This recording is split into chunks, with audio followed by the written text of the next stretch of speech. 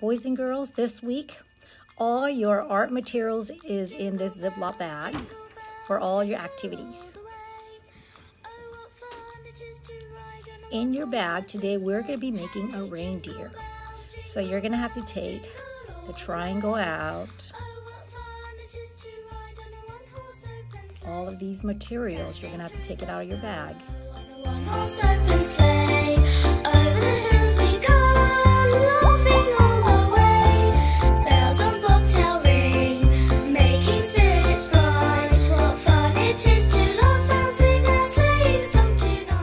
You're gonna paint the triangle with the brown paint.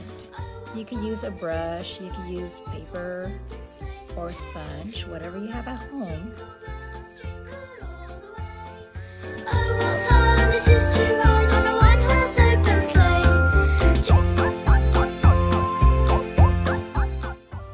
In your bag, you're gonna have a brown pipe cleaner, so you need to cut that in half to make the antler.